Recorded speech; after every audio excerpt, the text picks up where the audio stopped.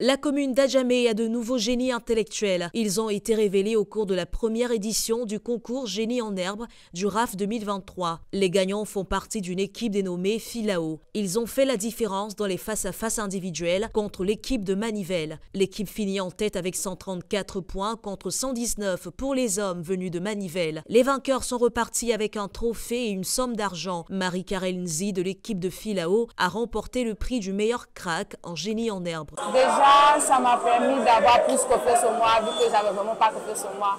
Et puis de développer mes connaissances, que ce soit en musique, en sciences, en littérature et en culture générale.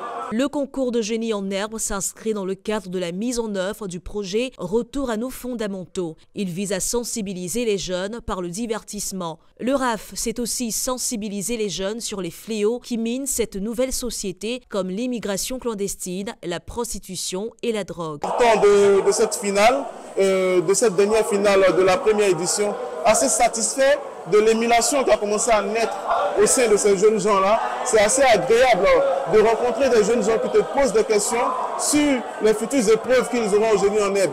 Et ça fait plaisir de voir ces jeunes gens-là fouiller dans les livres et les voir aussi à travers le Team, le Talk en train de donner des conseils, en train de sensibiliser leurs propres amis qui sont vraiment attentifs dans ces moments-là. C'était des moments assez agréables. Le RAF 2023 a fermé ses portes. Huit équipes d'une quinzaine de quartiers ont participé aux différentes compétitions, à savoir le génie en herbe, le maracana et le scribble. Ce sont plus de 150 jeunes qui ont été sensibilisés durant toute la compétition.